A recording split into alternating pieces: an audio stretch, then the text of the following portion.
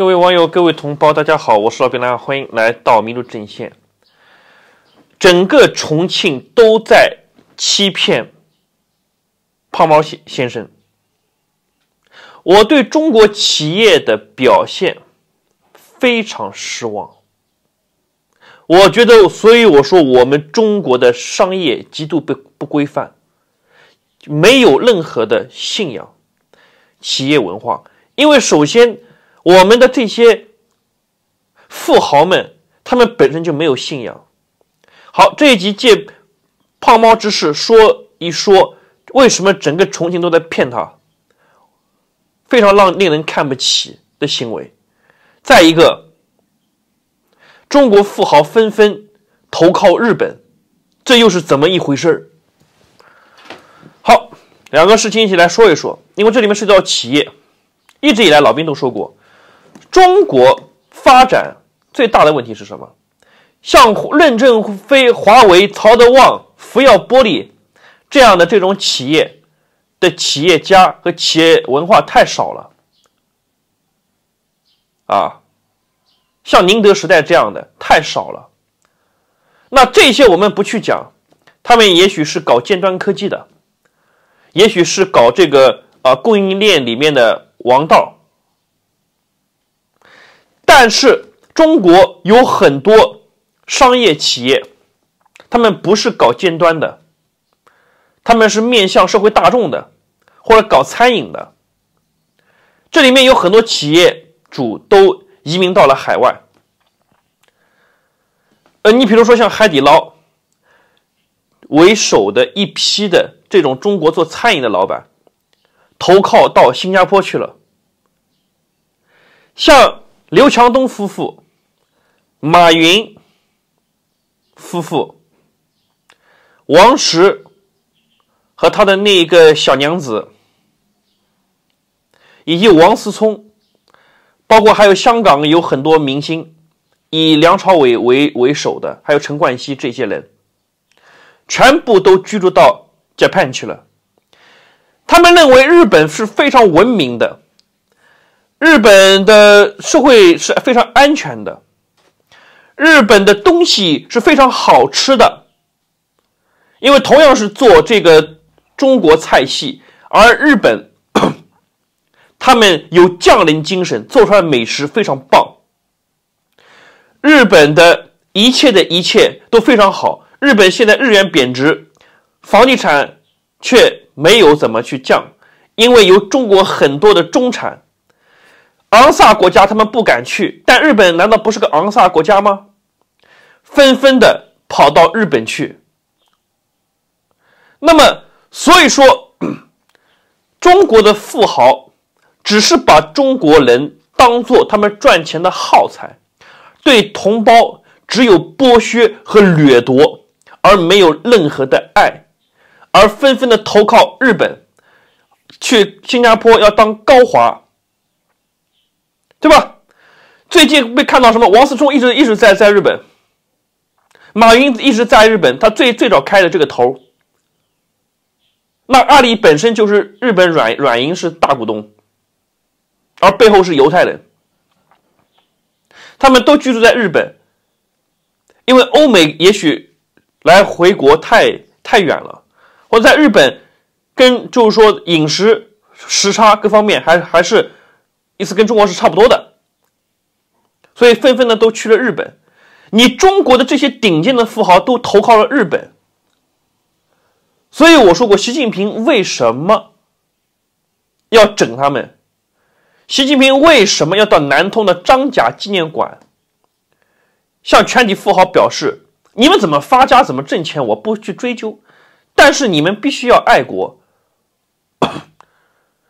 所以，这就是中国的企业家跟西方企业家最大的区别，就在于这里。所以说，有了这样一帮富豪，有了这样一帮企业家，就会有重庆这种事件。胖猫姐姐发声，别再点了。多家知名品牌紧急道歉。近日，游戏圈二十一岁代练胖猫一事引发关注，多地网友通过外卖 APP 为其下单点外卖表示纪念。然而，有网友在现场直播时发现，部分外卖出现空包的情况。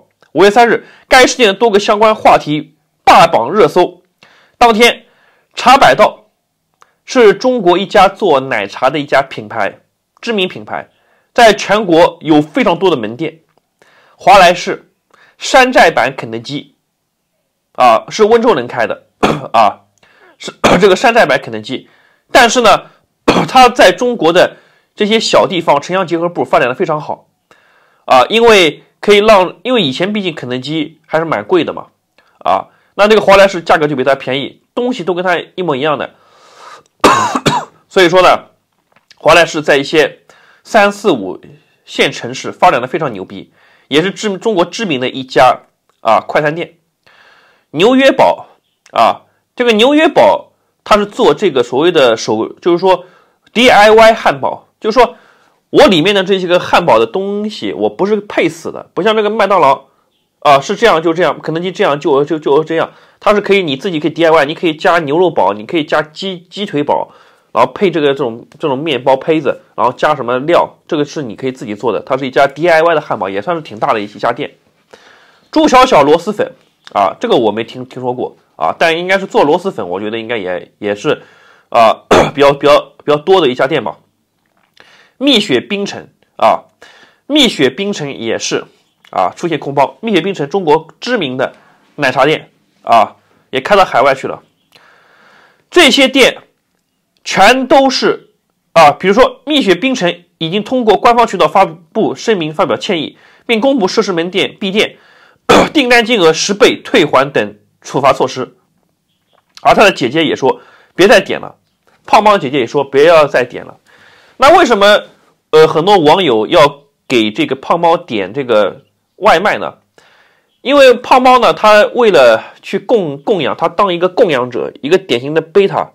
他要去供养这个谭竹这名女女女的，啊，去供养她，啊，中中国有多少男的天天在供供养女菩萨，啊，在上海有非常多，呃，我认识一些女的，他们还在我面前炫耀，说有四五个男朋友，这些男朋友，呃的钱都给他们开通这个账户，比如说支付宝里面有一种什么功功能，就是说 你的银行卡。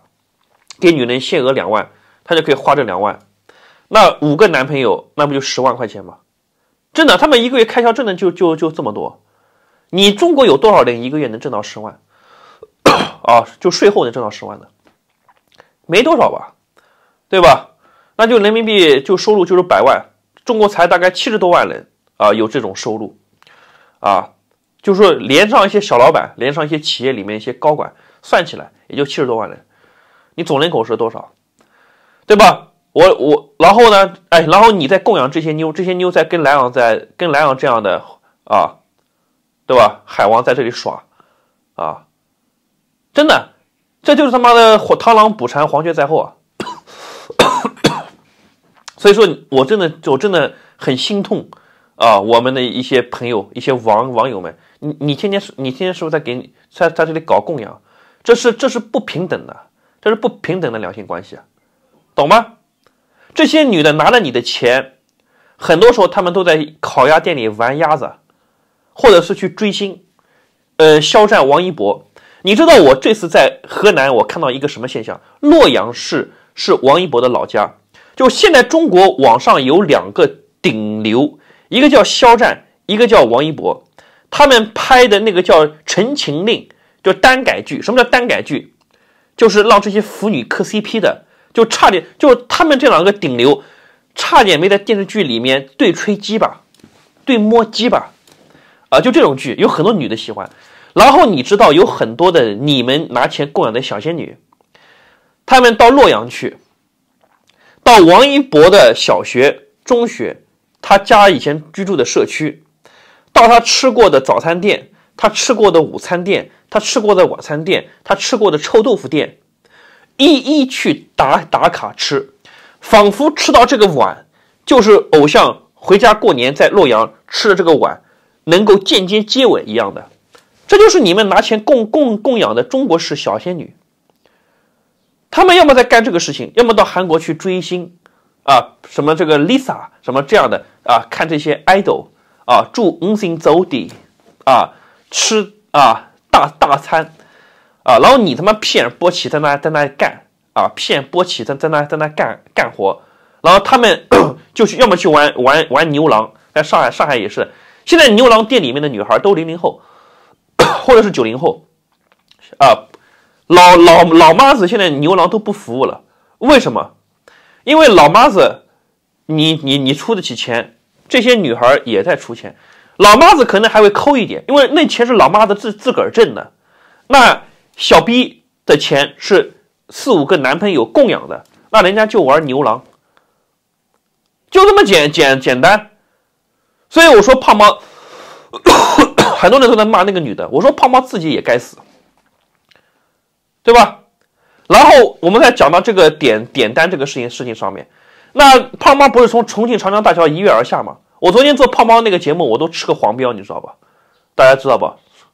给我给我设置个年龄限制，十八岁以下禁止看黄标，一毛钱广告收入都没有，呵呵，但是我照样要说这个事儿。我说了半小时了，对吧？但是我无所谓，他给我黄标就黄标，我没收入就没收入啊。但是我照样要要要说，那是真理。所以大家看到没有，在网上你只要讲真理，他妈的频道就要来打你。所以这就是什么？西方故意在中国制造男女对立。故意在引导女人的消费主义，故意把你男的变成这个逼样，一文不值的逼样。所以我讲出来这些真理，马上给我吃黄标，限制传播和限制广告收入，懂吧？所以你要知道，我只要说什么，只要有这种黄标，就代表他们在干什么。比如说我说凯乐奇计划，只要说这些这几个字，马上就黄标，没有任何任何的余余地的申诉都不行。所以明白吧？所以这是西方刻意这样做的。让你中国男的变成软男去雄化，变成龟公软男舔狗去雄化，然后女的呢，啊，消被消费主义给绑架，脑子里装的都是屎，然后呢，啊，这是他们要构建的这种种姓制度，男的是达利特，女的是费舍，啊，这些品牌富豪，这些是什么？中国这些投靠日本的这些品牌这些富豪是什么？他们是查德里，然后呢，西方西方的思想家，他们是犹犹犹太门。搞你中国社会，懂了吗？啊，然后那胖猫他从重重庆长江大桥一跃而下，死了，那跳跳江的那个地方，不就成为他的这个这个就是祭祀场场所吗？那很多网友说，哦，生前你省吃俭用吃十块钱的最垃圾的外卖，那我们给你点外卖吧，点外卖，那点到中国这些这些品品牌。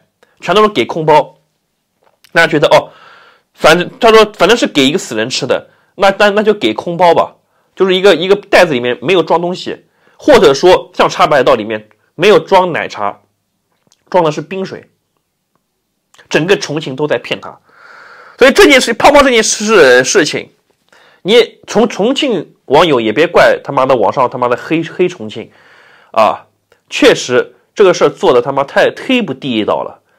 但是唯一唯一的一家企业，它没有空包，却是美国的麦当劳。所以我就讲，那那你说这个事情怎么怎么说？唯一没有空包的美国的麦当劳，美国的麦当劳没有空包，中国的这些知名的企业在里面给空包。你这个跟跟老美比这种企业的文化，你中国公司真的差远了，懂吗？你中国公司真的差远了，你你他妈在这个时候是转了攒人品的时候，你在干干什么？你在趁人之危，趁一个死人的危，而美国企业在这里他做的非常到位，你让老百姓怎么去去去想，怎么对中国的企业有信心，怎么对中国的富豪有信心？所以这他妈的就是很现实的一个问题，而且所以我说重庆什么重庆四川现在。都是什么中央转移支付的一个重要的一个地方？这两个地方叫什么？川渝啊，川渝什么双经济城、双城经济？但是那地方的人物质条件是好了，但精神上呢，他妈的一坨屎，好叫要他妈加油了。跟京津冀、长三角和珠三角的人，真正经济发达地区的人，你们的素质，你们的精神世界。你们的内核好叫要他妈往往上增加了，不要现在像暴发户似的那种有钱。我有的时候出去旅游，我碰到会这种川渝地区的人，现在也也也多了。但是那种腔调非常的内核不稳，有点暴发户的那种感觉，特别重，还有还需要沉淀。所以你看看重庆这一次做的这个事情，你 能让人不地域黑吗？但是我并没有去说这些东西，啊，对不对？但是做出来的事情吃相难看不不难看，这些品牌难看不难不不难看。有的人说这品牌是外地的，不是重庆的，但是人家那个店员是你重庆人，这些事情是这些店员和这些加盟商本地加盟商干的事儿，懂吗？所以说非常的令人不齿，整个重庆都在骗胖猫，而中国的企业，那么有这样的企业也很正常，中国的企业家都在投靠新加坡和日本，那那当然对中国的老百姓没有任何的怜悯之心，或者说有任何的同情之心，没有的，没有同理心的，这就是中国商业，中国的这个商业的悲哀悲剧。所以说，中国只是社会主义初级阶段，只有物质，没有精神。中级阶段，物质跟精神的并存，好吧？所以我们的精神领域、精神世界还是要努力的去锻造的，远远还不够啊！不要骄傲自满、骄傲自大啊！一杯水倒满了再倒掉，重新再倒一杯，好吧？关于这个，我们确实是要反思啊！我不是网上的网上的反思党，但这一点我们必须要反思。我们的企业家怎么这么老爱往日本跑？妈的，那边放核废水，那边他妈社会那么糟糕，要等着跟日本一起去腾飞。你去，你不能住，你不能居住在国内吗？你为什么要长期住住在日日本？因为在他们心目当中，日本就是个文明国国国度，他们认为日本是很文明的。还香港那些明星，香港都不要住，也要住日本。日本是文明的象征，所以有这样的精神面貌，你觉得中国这种地方能搞好吗？谢谢各位支持。